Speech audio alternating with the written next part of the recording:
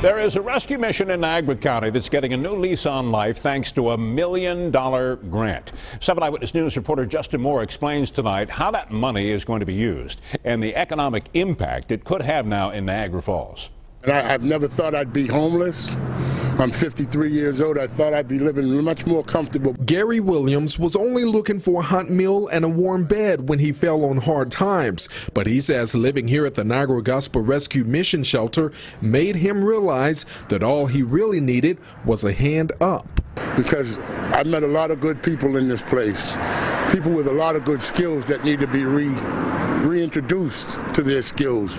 The rescue mission is giving homeless men like Gary a place to temporarily call home at this old YMCA. Many of them call it the Miracle on Portage. And with the help of the staff, um, it's really mending, mending my family back together. Where they can first just get their basic needs met and then get the tools they need to break that cycle of poverty. Leaders of the nonprofit say the need for shelter and food continues to grow in Niagara County.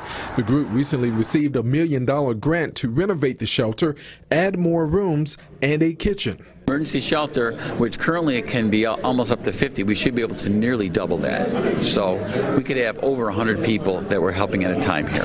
The rescue mission says this grant will also help to bring more people out of the cold and give them a warm bed to sleep in. Our, our goal ultimately is to have a, a shelter and long-term program for women and children as well. But right now we don't have the staffing to do it. It requires much more staff.